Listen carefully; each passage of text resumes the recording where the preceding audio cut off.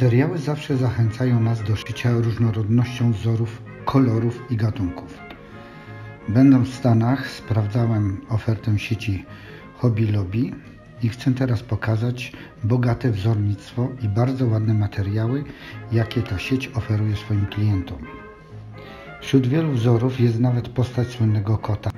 The Cat in the Head, jak i inne znane takie jak McQueen, Żółwie Ninja, Thomas, Spider-Man i Miniony.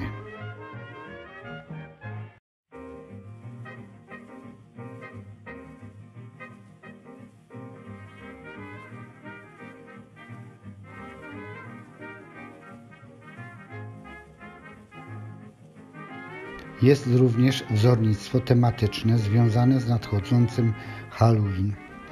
Materiały odmierza się w yardach, gdzie jeden yard to 0,914 metra. Zapraszam do oglądania.